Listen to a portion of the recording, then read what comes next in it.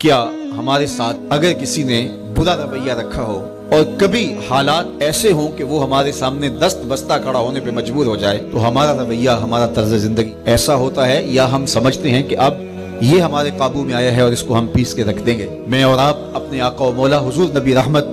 सल्लाम के बताए हुए तरीक़ा ज़िंदगी और अंदाज हयात पे गौर करें तो आप सिला रहमी करते हैं रिश्तेदारों के साथ आपका सलूक अच्छा है आपका रवैया खूबसूरत है